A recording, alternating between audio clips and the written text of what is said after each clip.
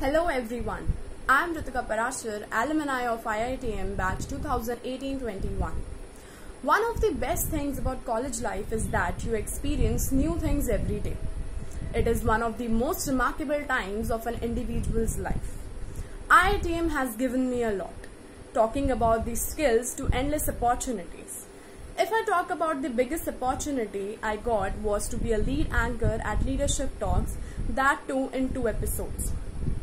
I would say that I was lucky that I got the chance, but yes, that boosted up my confidence because I remember when I entered the IITM, I was an introvert kind of child, but now I can say that yes, I'm confident and extrovert and have no fear of camera right now. Not only this, but being an anchor at the alumni meet and heading the whole show was a moment of pride for me.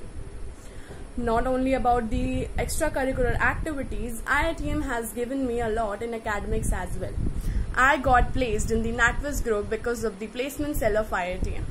So, a big thanks to the faculty members of IITM, in turn where who supported me throughout the journey of my college life. And I wish you all good luck. Thank you.